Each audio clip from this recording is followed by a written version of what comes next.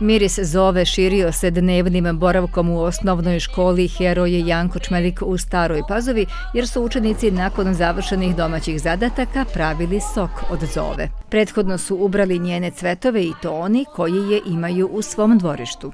Brala sam u svom dvorištu sa mamom. Um, brala sam tako što me je mama podigla pa sam ja čupala.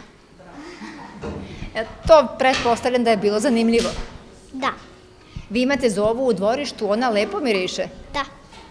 Da li kod kuće pravite ovaj sok? Pa juče smo napravili. Saznali smo i recept. 40 cvetova, 4 litre vode, 4 kg šećera i limuntus, jer mnogi su već pomagali kod kuće. Šta nam je potrebno? Voda, zova, e, limuntus,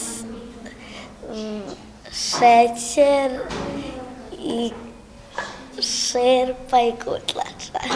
Naberemo zovu, operemo, onda stavimo šerpu i dodamo vode, vode i limuntus i šećera. I to treba da stoji? Stoji jedan dan. A sutradan? Je gotov. Da li ti voliš sok od zove? Da. Pravite kod kuće ili si pila negde? Pa pila sam kod bake, ona mi je spremala.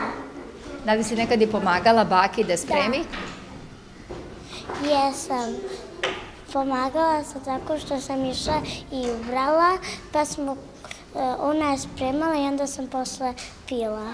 Bilo je ovo sticanje novih znanja i veština na zabavan i koristan način, tako da su deca uz pomoć učiteljice Milice Komazec sa radošću spremala mnogima omiljen napitak. Do probe su ipak morali da sačekaju. Kako su objasnili, pošto potopljeni cvetovi odstoje jedan dan, sutradan ih treba procediti, sipati u flaše i može se uživati u slatkom i mirišljavom ukusu soka od zove.